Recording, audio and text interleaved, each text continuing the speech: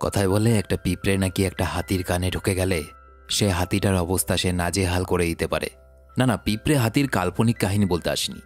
এমন এক বাস্তব ঘটনা জানবে আজকের ভিডিওতে যা যে কোনো মুভির গল্পকেও হার মানাবে। সাল দু হাজার নয়, পনেরোই এপ্রিল। পৃথিবীর ইতিহাসে এমন কিছু ঘটে যায় সেদিন যা বিশ্বাস করা কঠিন ছিল পৃথিবীবাসীর এতটাই কঠিন ছিল যে সেই ঘটনার জন্য তদন্ত কমিটি বসানো হয়। মাটি থেকে দু হাজার আটশো ফিট উঁচুতে একটা বড় প্লেনের সাথে কি হয়েছিল সেদিন এমন? মুভিতে অভিনয় করেছেন হলিউডের একজন লেজেন্ড অ্যাক্টর যার নাম টম হ্যাংস হ্যালো, তোমরা দেখছ এক্সপ্লেইন টিভি বাংলা। আজকের movie Sholay, miracle on the Hartson movie শুরুতেই দেখা যায় ক্যাকটাস পনেরোশো উনপঞ্চাশ নামের একটা প্লেনকে। লাগোয়ার্ডিয়া নামে একটা এয়ারপোর্টে রানওয়ে ফোর থেকে আকাশ পথে যাওয়ার সময় সেই প্লেনটার দুটো ইঞ্জিনই নষ্ট হয়ে গেছে। এমন অবস্থায় প্লেনটা যখন আবার ফিরে আসতে চায় তখন যাত্রীসহ ওই প্লেনটা একটা বিল্ডিংয়ে ধাক্কা খেয়ে বিশাল বিস্ফোরণ ঘটায়। এই দৃশ্যের পরে দেখা যায় এই ব্যক্তিকে। এনার নাম হলো চেসলি সুলি সুলেনবার্গার, সংক্ষেপে সুলি। ইনি একজন পাইলট, অর্থাৎ বিমান চালক। গত বিয়াল্লিশ বছর ধরে তিনি এই কাজ করে চলেছেন। তবে আজ কোনো একটা বিষয় নিয়ে তাকে বেশ চিন্তিত দেখা যাচ্ছে। কিন্তু সুলেয়া এত কি চিন্তা করছে? তার চিন্তার কারণ ছিল একটা ঘটনা। দু হাজার নয় সালের পনেরোই জানুয়ারি ক্যাপ্টেন সুলি, তার সহকারী পাইলট এবং আরও কয়েকজন সহকর্মী ক্যাকটাস পনেরোশো উনপঞ্চাশ নামের একটা প্লেন এবং মোট একশো পঞ্চান্ন জন যাত্রী সমেত লাগোয়ার্ডিয়া থেকে আকাশপথে রওনা হন। কিন্তু প্লেনটা টেক অফ করার কিছুক্ষণ পর প্লেনটা যখন মাটি থেকে দু ফিট উচ্চতায়, তখন ওই প্লেনের সামনে এক ঝাঁক পাখি চলে আসে। আর ওই পাখির ঝাঁক অতিক্রম করার সময় প্লেনের দুটো ইঞ্জিন নষ্ট হয়ে যায়। এখানে জেনে রাখা দরকার, প্লেন যখন মাটি থেকে অনেকটা উচ্চতায় থাকে তখন একটা সামান্য পাখির ধাক্কাতেও প্লেনের কিন্তু ইঞ্জিন নষ্ট হয়ে যেতে পারে। তো ক্যাপ্টেন সুলি প্রথমে প্লেনে থাকা সমস্ত জরুরি ব্যবস্থা ব্যবহার করেন। তিনি কন্ট্রোল রুমের সঙ্গে যোগাযোগ করার চেষ্টা করেন। কিন্তু সেখান থেকে জানানো হয়, তিনি যেন যত তাড়াতাড়ি সম্ভব রানওয়ের দিকে ফিরে আসার চেষ্টা করেন। তার জন্য নিউ ইয়র্কের দুই থেকে নয় নম্বর রানওয়ে রেডি করে রাখা হয়েছে। প্লেনটাকে আবার এয়ারপোর্টে ফিরিয়ে আনতে হবে। অন্যদিকে সমস্ত যাত্রীদের জানানো হয় যে যে কোনো মুহূর্তে তাদের এই প্লেনটা ল্যান্ড করবে, তাই তারা যেন সতর্ক থাকে। এতে সবাই খুব ভয় পেয়ে যায়। এদিকে ক্যাপ্টেন সুলি জানায় যে তার পক্ষেই প্লেন নিয়ে রানওয়ে অবধি যাওয়া সম্ভব হবে না, কারণ নষ্ট হওয়া দুটো ইঞ্জিন নিয়ে এই প্লেনটা সাত মাইল দূরে থাকা রানওয়ে অবধি পৌঁছতেই পারবে না। তাই ক্যাপ্টেন সুলি ঠিক করে যে তিনি হাটসন নদীতে ওই প্লেনটাকে ল্যান্ড করাবেন। এরপর কন্ট্রোল রুমের সঙ্গে ক্যাপ্টেনের যোগাযোগ বিচ্ছিন্ন হয়ে যায়। কন্ট্রোল রুমে থাকা সদস্যরা এটা শুনে বেশ ঘাবড়ে যায় এবং চিন্তায় পড়ে যায়, কারণ একটা এত বড় প্লেনকে নদীতে ল্যান্ড করানো মানে সেখানে একটাও মানুষের বাঁচার সম্ভাবনা নেই। এর আগে কেউ কখনো এত বড় নদীতে প্লেন ল্যান্ড করায়নি, তাও আবার একটা যাত্রীবাহী প্লেন। এটা খুবই বিপজ্জনক হতে পারে। কন্ট্রোল রুম তখনই সেখানে একটা হেলিকপ্টার পাঠিয়ে দেয় প্লেনের বর্তমান অবস্থা যাচাই করার জন্য। দেখা যায় প্লেনটা ক্রমশ নিচের দিকে নেমে আসছে। এদিকে ক্যাপ্টেন সুলি যথেষ্ট সতর্কতার সঙ্গে প্লেনটাকে নদীতে নামায়। এরকম বিশাল একটা যাত্রীবাহী প্লেন জলের মধ্যে ল্যান্ড করায় মনে হচ্ছিল যেন নদীতে ঝড় উঠেছে।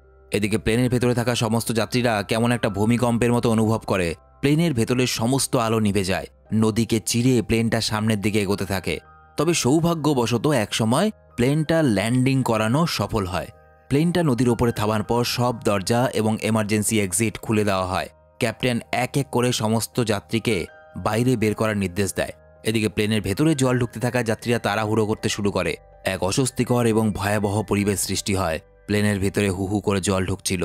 এই সময় সমস্ত যাত্রীদের বাইরে বের করা হয়। সেই সময় নদীতে থাকা উপকূল রক্ষা বাহিনীর স্টিমার প্লেনটাকে দেখতে পায়। সমস্ত যাত্রীরা প্লেন থেকে বাইরে বেরিয়ে প্লেনের দুপাশে প্লেনের যে ডানা বা উইং থাকে, সেটার উপরে দাঁড়িয়ে থাকে। এদিকে উপকূল রক্ষার বাহিনী তৎকালীন সমস্ত ব্যবস্থা গ্রহণ করে প্লেনের যাত্রীদের এক এক করে স্টিমারে তোলে। বিমান বিভাগ থেকেও হেলিকপ্টারে কিছু প্রশিক্ষণপ্রাপ্ত সাঁতারুদেরও ওখানে পাঠানো হয়, কারণ অনেকেই জলে আটকে ছিল। অবশেষে কিছু মানুষ ছোটখাটো আঘাত পেলেও সমস্ত যাত্রীরাই প্রাণে বেঁচে যায়। আর সবার শেষে ক্যাপ্টেন সুলি এবং তার সহকারী বিমান চালক প্লেনের বাইরে বেরিয়ে আসেন। সুলি নিজের প্রাণের তোয়াক্কা না করে সবার প্রাণ বাঁচান। এই ঘটনার কথা মুহূর্তের মধ্যে সব জায়গায় ছড়িয়ে পড়ে। প্লেনে থাকা কোনো যাত্রী বিশ্বাসই করতে পারছিলেন না যে তারা এই যাত্রায় বেঁচে গেছেন। এবং এই ঘটনা ক্যাপ্টেন সুলিকে একজন সাধারণ মানুষের থেকে সবার কাছে রিয়েল লাইফ হিরো বানিয়ে দেয়। কিন্তু ক্যাপ্টেন সুলি যেহেতু কন্ট্রোল রুমের নির্দেশ না মেনে নিজের সিদ্ধান্তে প্লেনটাকে নদীতে ল্যান্ড করিয়েছিলেন, তাই এটা নিয়ে তার বিরুদ্ধে একটা তদন্ত শুরু করে দেওয়া হয়। প্রথমে ক্যাপ্টেন সুলি এবং তার সহকর্মীদের নিয়ে একটা রুমে তদন্তকারী কমিটির বৈঠক বসানো হয়।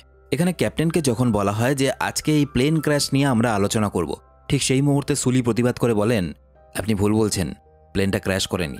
প্লেনটাকে আমি জলের মধ্যে ল্যান্ডিং করিয়েছিলাম, এটাকে ওয়াটার ল্যান্ডিং বলে, আর এটা একটা ইমার্জেন্সি ছিল। নয়তো আমি এটা কখনোই করতাম না। কমিটি জানতে চায়, আপনি কেন লাগুয়ার্ডিয়া ফেরত আসেননি? ক্যাপ্টেন জানায়, ওই মুহূর্তে সাত মাইল পথ অতিক্রম করে প্লেনের যাওয়ার মতো পরিস্থিতি ছিল না। একমাত্র নদীটাই ছিল, যেখানে আমি প্লেনটাকে সুস্থ মতো ল্যান্ডিং করাতে পারব বলে মনে হয়েছিল। এরপর কমিটি জানায়, ঠিক আছে, আমরা কম্পিউটার গ্রাফিক্সের মাধ্যমে বোঝার চেষ্টা করব যে সত্যিই কি সেই প্লেনটাকে নিয়ে আপনি ফেরত আসতে পারতেন, নাকি আপনি আপনার পাগলামির জন্য ওই নদীটার মধ্যে এতগুলো মানুষের প্রাণ ঝুঁকি নিয়ে প্লেনটাকে ল্যান্ড করালেন? এছাড়াও কমিটি সুলিকে জিজ্ঞেস করে আচ্ছা আপনি এই যাত্রার আগে মানে প্লেনটা নিয়ে যখন টেক অফ করবেন, তার আগে কতটুকু ঘুমিয়েছিলেন? আপনি কি শারীরিকভাবে সুস্থ ছিলেন? আর আপনি কি নেশাগ্রস্ত ছিলেন? মানে কোনো মাদক দ্রব্য সেবন করেছিলেন কি? ক্যাপ্টেন জানান তিনি যথেষ্ট সুস্থ এবং স্বাভাবিক ছিলেন।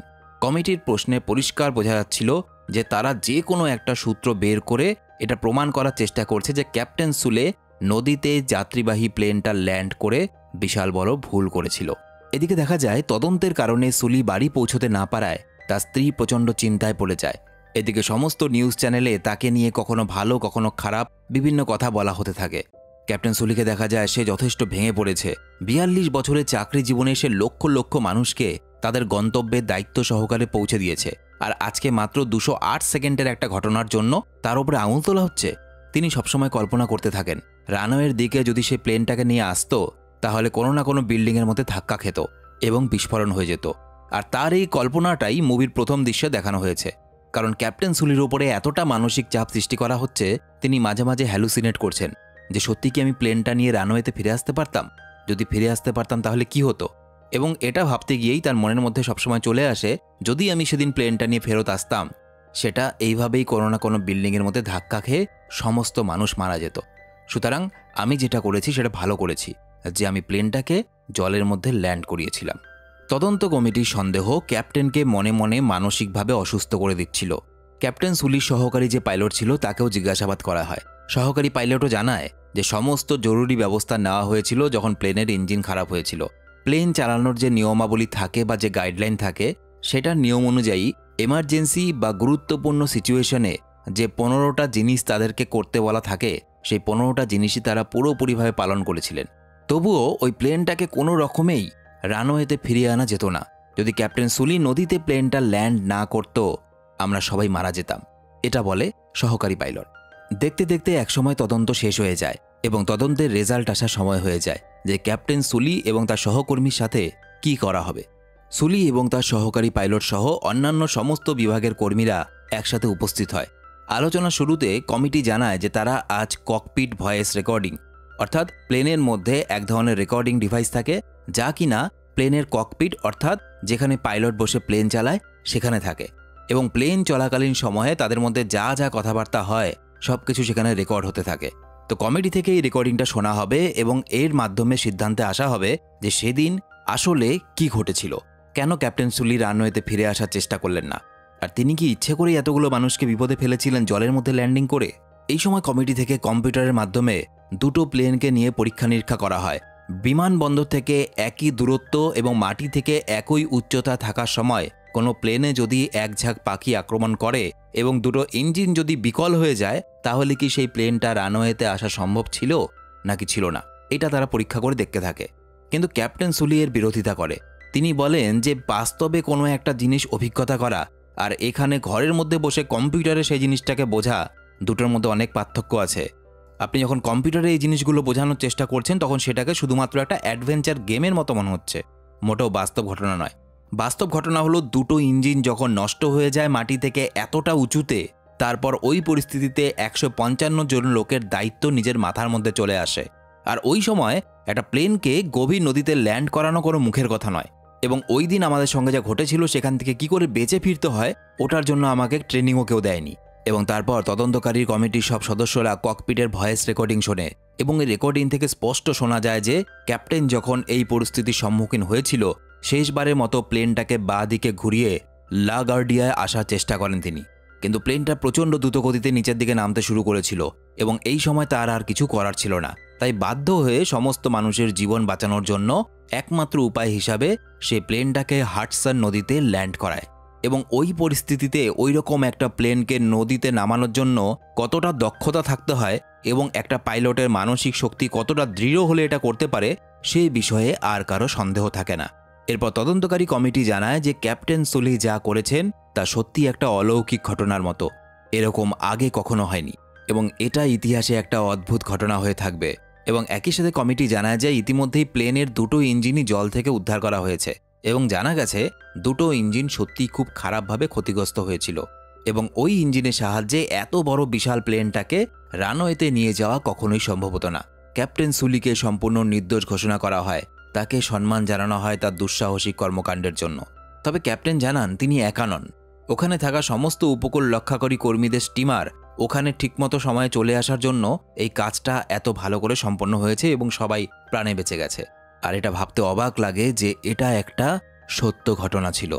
একজন বীর পুরুষের দুঃসাহসিক জয়ের গল্প এখানে শেষ হয়ে যায়।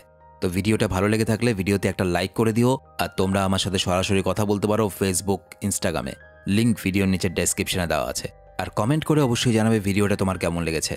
দেখা হচ্ছে পরের ভিডিওতে। সবাই খুব ভালো থেকো।